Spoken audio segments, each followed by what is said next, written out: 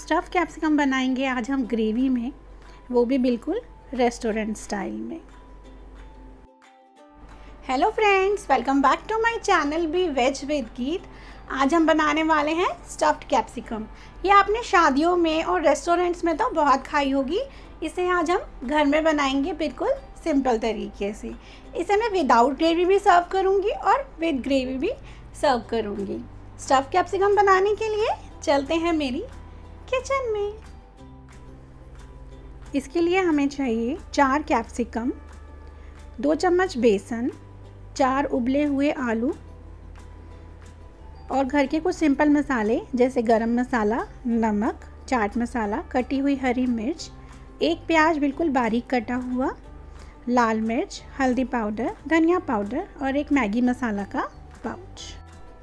सबसे पहले हम स्टफिंग रेडी कर लेते हैं। उसके लिए कढ़ाई में लेंगे दो चम्मच ऑयल थोड़ा सा जीरा और कटी हुई हरी मिर्च और एक बारीक कटा हुआ प्याज। अगर आप छोटे बच्चों के लिए बना रहे हैं तो हरी मिर्च को अवॉइड कर सकते हैं।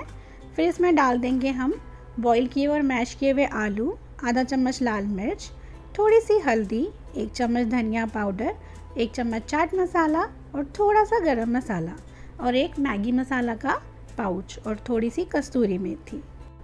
इस मसाले को हम दो से तीन मिनट तक भूनेंगे ताकि मसाला अच्छे से मिक्स हो जाए। ऊपर से डाल देंगे हरा धनिया, फिर हम लेंगे कैप्सिकम और इसको इस तरीके से काटेंगे ताकि इसकी रिंग्स कट जाएँ। ये देखिए, हमने छोटा सा पार्ट पहले निकाल दिया है। अब इतनी चौड़ी रिंग हम इसकी काट लेंगे। और जो इसका बीज का पार्ट है, इसे हम जो ये बीज वगैरह है, इसे चाकू से अलग कर देंगे। ये देखिए, इसी तरीके से हमने सारे रिंग्स रेडी कर लिए हैं। अब जो स्टफिंग है वो भी ठंडी हो गई है। अब हम इसे रिंग में इस तरीके से फिल करेंगे दबा दबा के ताकि ये अच्छे से स्टफ़ हो जाए बिल्कुल। ये देखिए, हमें चम्मच की हेल्प से इसे अच्छे से स्टफ़ कर देना है। ये देखिए रिंग हमारी स्टफ़ होके एकदम रेडी हो गई है। हमें ये जो शिमला मिर्च की रिंग है इसे बहुत पतला नहीं रखना, थोड़ा चौड़ा ही रखना है और जो स्टफिंग है बहुत अच्छे से फिल करनी है दबा दबा के। सारी रिंग्स मैंने रेडी कर ली हैं।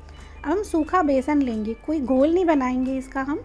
और जो हमने शिमला मिर्च की रिंग्स रेडी की हैं, इसमें हमें डिप कर लेना है अच्छे से और जो एक्स्ट्रा बेसन है, उसे हमें डस्ट कर देना है इस तरीके से। मैंने सारी रिंग्स कोट कर ली हैं बेसन से। अब उसी कढ़ाई में हम दो चम्मच ऑयल फिर से लेंगे और जो ये हमने बेसन से कोट की हुई रिंग्स रेडी की हैं कैप्सिकम की, वो हम इसमें डाल देंगे। फ्लेम हम बिल्कुल स्लो रखेंगे और इसे दो से तीन मिनट के लिए ढककर पकाएँगे। अब हम इसे पलट देते हैं ताकि दूसरी तरफ़ से भी अच्छे से ये सीख जाए और क्रिस्पी हो जाए। ये देखिए, हमारे अलट पलट के हमने क्रिस्पी क्रिस्पी से रिंग्स रेडी कर लिए हैं। इसके ऊपर हम डाल देंगे थोड़ा हरा धनिया और आप इसे ऐसे भी पराठे के साथ, फुलके के साथ सर्व कर सकते हैं। ये ऐसे भी बहुत टेस्टी लगते हैं, लेकिन आज मैं इसे ग्रेवी के साथ सर्व करने वाली हूँ। ग्रेवी बनाने के लिए हम लेंगे कढ़ाई, उसमें डालेंगे दो चम्मच ऑयल थोड़ा सा जीरा, एक प्याज बारीक कटा हुआ, फिर हम टमाटर ग्राइंड कर लेंगे। मिक्सिंग जार में हम लेंगे टमाटर, थोड़े से काजू और दो हरी मिर्च, इनका पेस्ट बना लेंगे। प्याज जब हल्का सा पिंक हो जाए, उसमें डालेंगे हम एक चम्मच देगी लाल मिर्च थोड़ी सी हल्दी, और जो हमने टमाटर का पेस्ट रेडी किया था, वो भी हम इसमें डाल देंगे। फ्लेम हम बिल्कुल स्लो रखेंगे। इसमें डाल देंगे आधा चम्मच नमक, एक चम्मच धनिया पाउडर और थोड़ी सी कस्तूरी मेथी। उसको हाथ से क्रश करके डालेंगे और फ्लेम स्लो रखेंगे। अब हम इसमें डाल देंगे तीन से चार चम्मच गाढ़ा दही। इससे जो इसकी ग्रेवी है, बहुत क्रीमी और स्मूथ बनेगी। अच्छे से मिक्स कर लेंगे। दो मिनट के लिए ढक के रखेंगे। ये देखिए ग्रेवी हमारी कितनी अच्छी रेडी है। ऑयल भी सारा ऊपर आ गया है। इसे अच्छे से मिक्स करेंगे। और जो हमने कैप्सिकम रेडी करके रखे थे, वो हम इसमें डाल देंगे। ग्रेवी आप अपने हिसाब से गाढ़ी या पतली रख सकते हैं।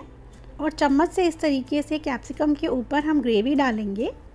इसे दो मिनट के लिए और ढककर पकाएँगे, ताकि ग्रेवी अच्छे से कैप्सिकम के अंदर चली जाए। और ऊपर से डाल देंगे हरा धनिया। Stuff capsicum with gravy serve करने के लिए हमारी एकदम रेडी है। देखिए कितना सुंदर कलर आया है इसका और ये खाने में भी बहुत टेस्टी है। इसे आप रोटी के साथ, पराठे के साथ, पूड़ी के साथ सर्व कर सकते हैं। वीडियो देखने के लिए आपका बहुत बहुत शुक्रिया। वीडियो को लाइक करें चैनल को सब्सक्राइब करें और हाँ घंटे का बटन दबाना ना भूलें। बाय फ्रेंड्स मिलते हैं नेक्स्ट वीडियो में।